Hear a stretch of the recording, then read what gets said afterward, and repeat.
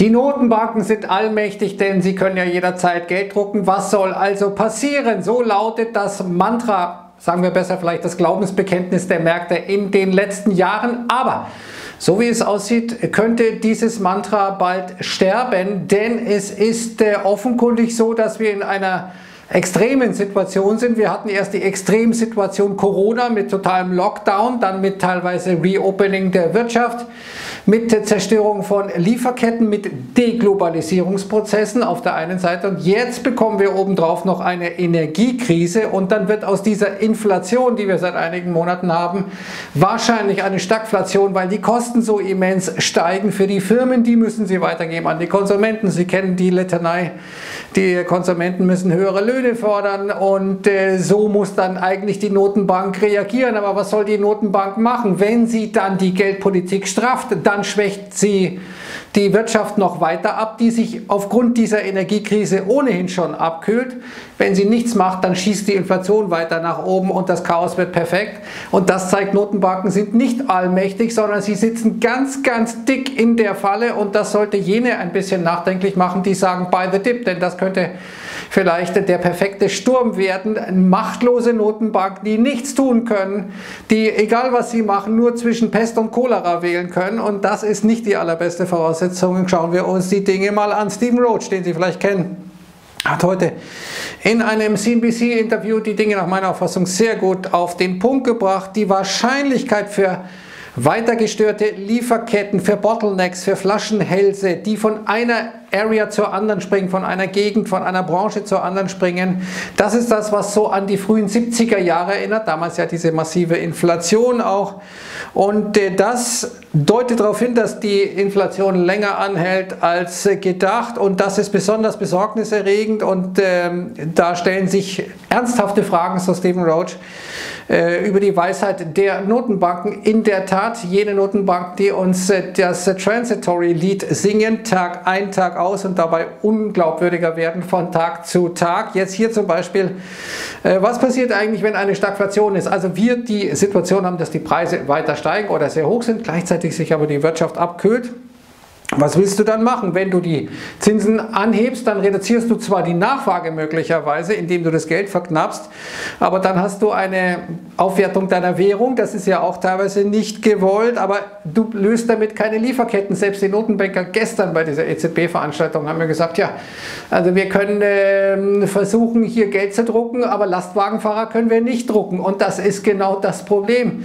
Äh, da ist äh, also einiges im Argen und wir hatten ja schon gesehen, sehen, ich hatte das heute Morgen gezeigt, dass etwa in US-Schulen die Essensversorgung gar nicht mehr sichergestellt werden kann, weil zum Beispiel in den Cafeterias kein Personal zu finden ist, weil die entsprechenden Nahrungsmittel nicht geliefert werden können, weil es die entsprechenden Nahrungsmittel nicht gibt zum Beispiel, weil sie schlichtweg nicht die Lieferketten überstehen. Und all das deutet darauf hin, dass wir hier in einer sehr, sehr schwierigen Situation sind. Das hat heute auch Jerome Powell bei der Anhörung vor dem US-Kongress gesagt. Ja, wir sind so in der Spannung, hat er gesagt, zwischen Inflation und Employment. Naja, Employment, wir haben mehr offene Jobs in den USA, wie übrigens auch in Deutschland, als Arbeitslose offiziell. Das heißt, wo ist das Problem mit dem Employment? Wer arbeiten will, der kann es in der Regel. Klar, wir haben viele Arbeitsplätze, die eben eine gewisse Qualifikation voraussetzen die eben nicht alle haben.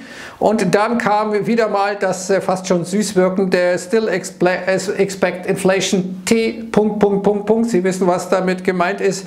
Sven Henrik kommentiert sarkastisch, der Optimismus stirbt erst langsam und dann ganz plötzlich. Und äh, wir sind jetzt in dem Moment, wo der Optimismus ganz langsam noch stirbt, aber dann wahrscheinlich sehr plötzlich. Was ist eigentlich Inflation, meine Damen und Herren?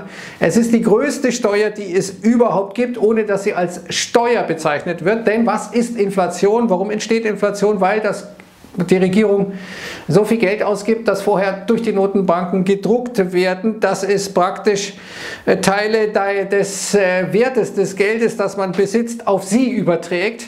Das heißt, man wird ja faktisch damit enteignet, also eine herbe Steuer, die nicht als Steuer bezeichnet wird. Das ist ähm, das eigentliche Problem an dieser ganzen Inflation. Das merken wir, wenn wir, merken wir uns, wenn wir gleich dann nochmal zum Thema Inflation kommen. Hier mal ein Beispiel aus den USA. Dollar Tree so eine billig, eine Euro-Kette. Da ist ja das Motto, die Marke geradezu, alles kostet einen Dollar und nicht mehr. Und jetzt hat man äh, mitgeteilt seitens äh, Dollar Trees, dass man für manche Produkte die Preise über 1 Dollar anheben muss. Äh, für Selected Items, äh, wie man hier sagt. Also nichts ist sprechender, als wenn äh, ein Unternehmen, dessen Gründungsmythos darin besteht, sozusagen alles für einen Dollar zu verkaufen, dann sagt, wir werden die Preise über einen Dollar anheben, dann ist eigentlich alles klar. Jetzt mal zu dieser ganzen Geschichte. Lieferkettenprobleme, Abkühlung der Wirtschaft. Opel heute das Werk in Eisenach mitgeteilt, bis Jahresende geschlossen. Volkswagen schließt, andere schließen, weil es eben die Chips nicht gibt. Warum gibt es nicht die Chips? Wegen den Lieferketten, aber vielleicht, weil manche auch nicht liefern wollen. Diese Frage müssen wir vielleicht auch mal stellen, Richtung Asien, Richtung China vor allem, aber wir können es nicht beweisen. Jetzt kommen wir mal zu dieser Energiekrise, die das Ganze jetzt so schwierig macht. Wir sehen hier UK Gas Futures Preise über 250 Cent. Das erste Mal, dass das passiert. In Deutschland die äh, Electricity Prices so hoch wie seit zehn Jahren nicht mehr und auch in Asien erreicht Flüssiggas etwa ein neues Allzeithoch. Hier sehen wir mal Erdgas, Natural Gas den Benchmark Future für eben praktisch den, äh, für den europäischen Markt hier. Äh, da sind wir jetzt auf einem neuen Allzeithoch, na klar, aber wir haben jetzt äh, eine 26-fachung seit dem Mai letzten Jahres. Damals natürlich totaler Lockdown noch oder alles am Boden, aber wir sehen, das ist jetzt völlig außer Kontrolle. Das ist praktisch nicht mehr einzufangen. Man muss hoffen, beten, dass das irgendwie wieder weggeht. Dann haben auch die Märkte eine Chance, aber warum sollte es weggehen? Das ist die Frage, wenn eben jetzt das Wetter kälter wird, dann könnte das so langsam eben diese Versorgungslage noch verschlechtern. Charttechnisch sieht der Energiesektor, obwohl er überkauft ist inzwischen, nach wie vor sehr, sehr gut aus. Makrocharts zeigt hier ähnliche Chartmuster aus dem Jahr 2002, 2009 und 2016. Da sind die Preise noch deutlich weiter gestiegen und China kriegt jetzt so ein bisschen Panik, hat jetzt gesagt, wir müssen unter allen Umständen sicherstellen, äh, dass wir hier die Versorgung mit Elektrizität aufrecht halten können. Man ist also bereit, alle Preise zu zahlen, die es ähm, möglich äh, machen, äh, dann eben diese Versorgung sicherzustellen. Das dürfte dann Rohstoffen weiteren Auftrieb verleihen, bestimmten Rohstoffen zumindest. Und China hat ohnehin ein Riesenproblem. Ähnlich wie der Westen, aber noch viel radikaler. Was bedeutet das, wenn man sagt, ja, wir müssen unter allen Umständen hier die Versorgung aufrechterhalten? Dann bedeutet das, dass überwiegend staatliche Unternehmen viel mehr Geld auf, äh, ausgeben müssen für diese Rohstoffe, für diese Versorgung mit Elektrizität. Ähm, und das bedeutet, dass sie das aber nicht an ihre Kunden weitergeben können in China. Und das ist eine dramatische Situation. Hier sieht man, dass äh, die Verbraucherpreise, also dass die Erzeugerpreise, die Inputkosten für die Unternehmen in Relation zu den Verbraucherpreisen noch nie so negativ waren. Never ever in den letzten Jahrzehnten. Das heißt, die staatlichen Unternehmen, die verbrennen Geld ohne Ende. Und das ist ein Riesenthema eines Staates, der ohnehin leichte Probleme hat, um es mal vorsichtig zu formulieren. Aber die haben wir auch hier in Deutschland etwa die Verbraucherpreise 4% jetzt gestiegen Nahrungsmittel, das trifft ja dann jeden 4,9%, wie heutige Daten zeigen. Und das Ganze mal in eine Perspektive zu setzen, so Holger Cepic, äh, als wir das letzte Mal über 4% waren, da war der Leitzins bei 6%. Jetzt ist nicht absehbar, dass die EZB in irgendeiner Form irgendwann mal den Leitzins anheben wird. Und jetzt sagt hier die Commerzbank in Reaktion auf die Daten heute, ja, also okay, wir haben natürlich die Basiseffekte, die dann weniger werden. Wir hatten ja im letzten Jahr, also praktisch im Vergleichsjahr, sehr, sehr tiefe Preise. Jetzt äh, dementsprechend natürlich der Vergleich zu den Vorjahresmonaten extrem. Aber selbst wenn das abebbt, sagt die EZB, wird die äh, Versorgung, die äh, die EZB den Staaten geben muss. Und äh, wir denken da an ein paar Staaten, die eigentlich eher so im Süden liegen.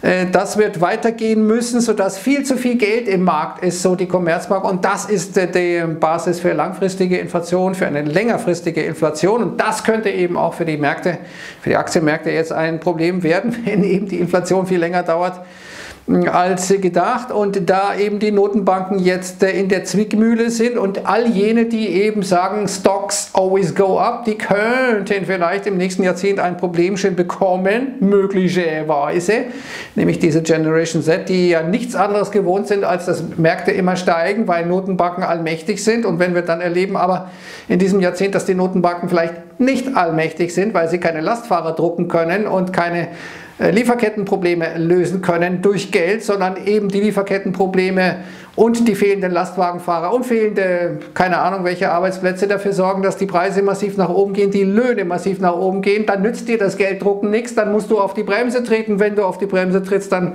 wirkst du die Wirtschaft ab. Eine miserable Situation, muss man sagen. Und wir schauen uns mal hier den S&P 500 an.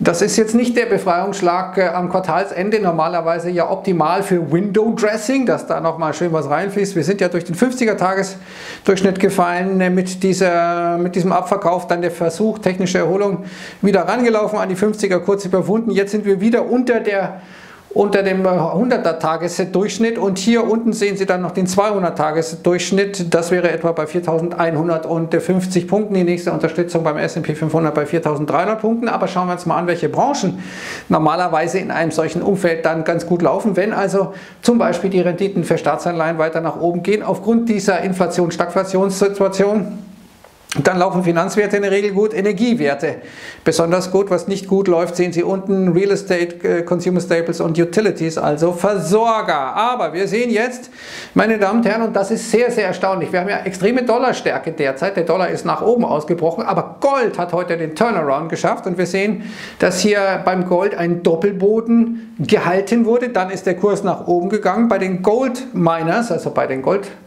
Produzenten sehen wir auch, dass eine wichtige Trendlinie verteidigt wurde. Da sollten Sie mal reinschauen. Da ist ein Video mit dabei, ein Charttechnik-Video, das erklärt, was da passiert ist und was wir jetzt erwarten können. Packe ich unter das Video ebenso wie hier diesen Artikel meines Kollegen Wolfgang Müller. Erster Verlustmonat, nämlich der September, bringt Oktober die Wende.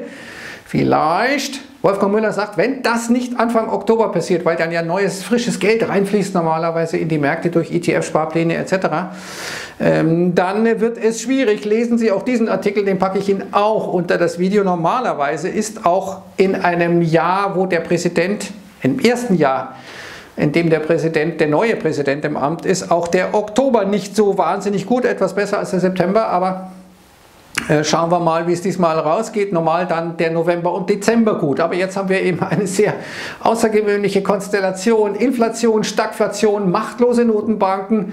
Das ist äh, jetzt noch nicht sicher, aber wenn die Energiepreise weiter nach oben gehen, dann werden die Löhne auch weiter nach oben gehen müssen. Und was sollen die Notenbanken dann tun? Das ist die große Frage. Und ist dieses Szenario eingepreist in den Aktienmärkten? Ich glaube nicht, meine Damen und Herren. Jetzt wünsche ich einen schönen Feierabend und verweise auf diese zwei Artikel Must Read. Servus, ciao.